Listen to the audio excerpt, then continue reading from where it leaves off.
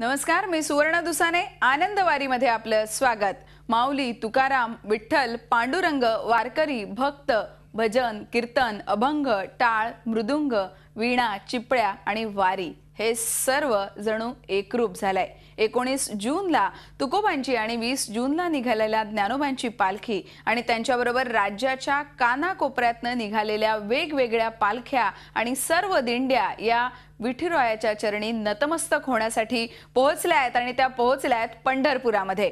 वारीचा प्रवास आज आपल्याला आपल्या खऱ्या मुक्कामी पोहोचलाय. जगद्गुरू तुकोबाराय आणि संतश्रेष्ठ ज्ञानेश्वर महाराज यांच्या पालखी सोहळ्यात आज रिंगण सोहळे रंगतायत. आणि याच सर्व चैतन्य क्षणांवरती आजची आहे आनंदवारी.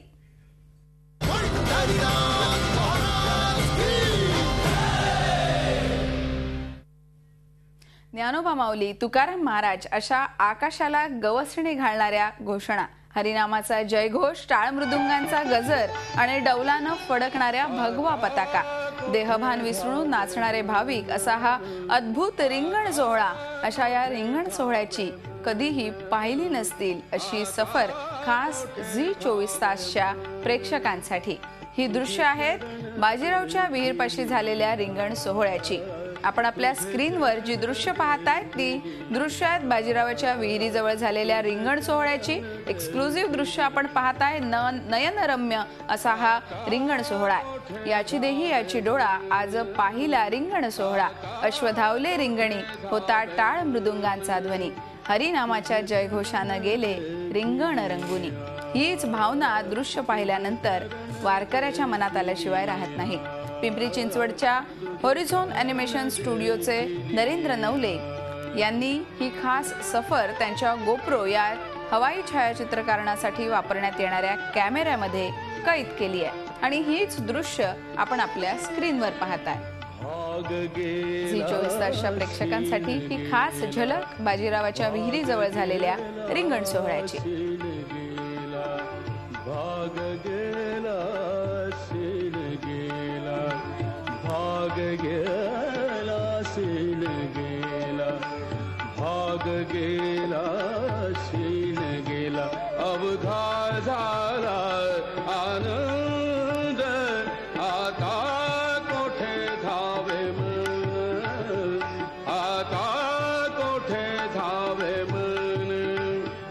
वारकऱ्यांची शिस्त म्हणा किंवा त्यांनी ते सुनियोजित केलेले जे काही रिंगण आणि जे काही त्यांचे सगळेच म्हणजे वावर आहे त्या सोहळ्यांमधला खरंच स्तुत्य आहे. आणि आम्ही काल पहिल्यांदा गेल्यानंतर ओबी व्हॅन्सच्या वरनं पण जे आम्हाला दिसलं नाही ते ह्यातनं जेव्हा बघितलं तेव्हा आणखीन जाणवलं की खरंच त्यांना कोणाच्या शिस्तीची सांगण्याची गरज नाही आहे त्यांनी स्वयंस्फूर्तीने आणि उत्साहाने जे काही ते व्यवस्थित फॉर्मेशन अगदी जॉमेट्रिकली ॲक्युरेट म्हणा असंच ते शिस्तबद्ध कार्यक्रम होता. अगदी आपल्या नेव्हीच्या किंवा मिलिटरीच्या परेड्स असतात इतकं छान वाटतं इतकं छान होतं.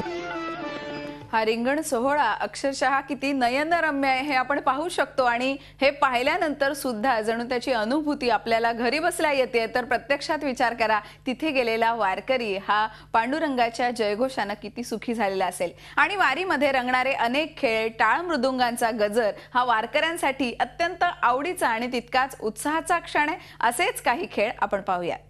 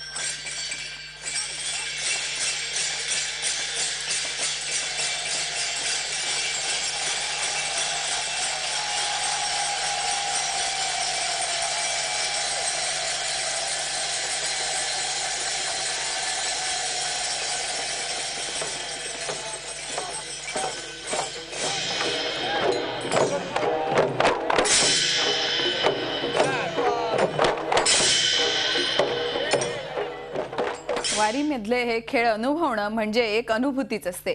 वारीत आलो आणि पांडुरंगाचा झालो. प्रत्येक वारीत असा अनुभव अनेक वारकऱ्यांना येतो. असाच एक अनुभव आलाय आमच्या मित्राला. जाणून घेऊयात नेमकं काय घडलंय. हरिमुखे म्हणा हरिमुखे म्हणा पुण्याची गणना कोण करी हे जे शब्द आहेत या शब्दांचा शब्दचा अर्थ काय आहे? त्यातून आपल्याला काय काय मिळतं आहे? हे सगळं चित्र आपल्याला इथे दिसतं आहे सध्या. तुम्ही जर इकडे माझ्या उजव्या बाजूला पाहिलं ते टाळकरी आहेत. हरिपाठाची सुरुवात या टाळकऱ्यांच्या याच नामघोषामध्ये माऊलींच्या नामघोषामध्ये आपल्याला दिसते आहे. हे एका दिंडीचं चित्र आहे जे आपण इथे ठिकठिकाणी या दिंड्या बघत असतो की संध्याकाळचा हरिपाठ भजन कीर्तनामध्ये म्हणजे दिवसभर चालून सुद्धा एक मोठा पल्ला गाठून सुद्धा ही जी मंडळी आहेत या संध्याकाळच्या वेळेला अर्थातच भोजनापूर्वी हा जो हरिपाठ आहे याच्यामध्ये दंग झालेले असतात. तुम्हाला एक गोष्ट आश्चर्य वाटेल की आपला झीचा सहकारी जो सखाराम आहे ओबी व्हॅन इंजिनियर आहे तोही पहिल्या दिवसापासून या सगळ्याचा आनंद घेतो आहे. त्यामुळं तो म्हणजे ओबी इंजिनियरने फक्त आपलीच कामं करायची का तर तेवढी नाही. कारण तो पहिल्या दिवसा आळंदीपासनं त्यांनी जे काही या माऊली माऊलीमध्ये जिथे हरिपाठ दिसेल तिथं हा सकाराम वेळ मिळेल तसा हजर असतो. काय सांगशील? आपल्या नेहमीच्या झीच्या रुटीनपेक्षा तुला हे सगळं कसं वाटतं? नाही माझं पहिलंच वर्ष आहे आणि माझं जे पाठी एवढं हे झालं पाठी पुण्यामध्ये थोडीशी गडबड झाली. पण तरी पण आता काय संतांच्या बरोबर आलो तर तरी एकदम म्हणजे असा तो विसर पडला. हे असं म्हणजे एकदम स्टॅमिना एवढा मिळतो का असं वाटतं का दरवर्षी येणार? आता एकवीस दिवस पायाने चालत येणार असं वाटतं. आम्ही ज्यावेळेस आळंदीवरनं निघालो गडबड झाली म्हणजे ती पण सांगतो तुम्हाला थोडक्यात की तीन तोळ्याची सोन्याची चेन होती याची आणि ती विश्रांतवाडीच्या तिथे कुणीतरी पळवली चोरट्याने पळवली. तिचा तपास अजून तरी लागलेला नाहीये. पण सखारामला सांगितलं आता काय करायचं? तर चेन द- गेल्याचं वाईट वाटतंय? कोणी वाईट नाही बिलकुल. वाटीमध्ये घरी बोललं घरी बोलले. चैन गेली तर जाऊ दे. आता तू तुळशीची माळ घालून पंढरपूरला जाऊ नये. आणि तेच पुढे चालू ठेव. बाकी काय नाही. बाकी तुळशीची माळ घालायची आता पंढरपूरला जाऊन. बाकी दुसरं काय नाही.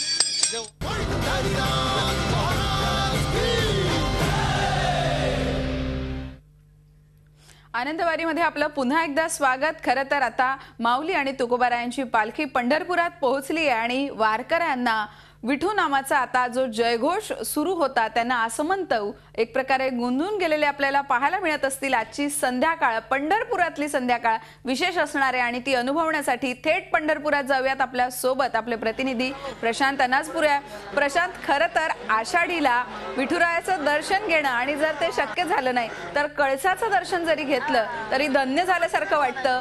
तुला नेमकी काय अनुभूती अनुभवायला मिळते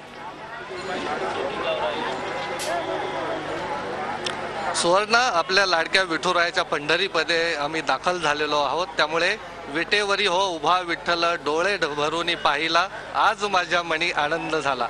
इथे येणाऱ्या प्रत्येक वारकऱ्याची हीच सध्या प्रतिक्रिया आहे भावना व्यक्त होत आहे. मी आता चंद्रभागेच्या पात्रामध्ये आहे की जिथे आपण पाहू शकतो की चंद्रभागेमध्ये स्नान करण्यासाठी संध्याकाळची वेळ आहे. मात्र इथे पहाटेपासून या चंद्रभागेमध्ये स्नान करण्यासाठी भाविकांनी गर्दी केलेली आहे. आणि एकूणच आजचा जी आ- आषाढी आषाढीची आषाढी एकादशी आहे त्यामुळे सगळ्या पालख्या ज्या आहेत पंढरपूरमध्ये दाखल झालेल्या आहेत. आणि विसावा मंदिर जे आहे त्या ठिकाणी माऊलींची पालखी तुकोबांची पालखी या आता काही वाखरीवरनं दाखल होत आहेत. त्यामुळे ग्रामप्रदक्षिणा आहे आता. आणि ती ग्रामप्रदक्षिणा पाहण्यासाठी सगळे वारकरी आतुर झालेले आहेत. आणि हा जो काही सोहळा आहे माऊलींच्या पादुका असतात. शितोळे सरकार जे आहेत ज्यांना मान आहे की त्यांच्या गळ्यामध्ये या पादुका ठेवल्या जातात. आणि गळ्यामधनं ही प्रदक्षिणा जी आहे माऊलींच्या पालखीची प्रदक्षिणा आहे ती इथे पंढरपुरामध्ये होते आहे. त्यामुळे एकूणच आजचा माहोल आहे विठुरायाची नगरी आहे. त्यामुळे विठुरायाने तुला माहिती आहे की आभाळ आलंय आता पावसाचे थोडे थोडे थेंबही आता सुरुवात झालेली आहे.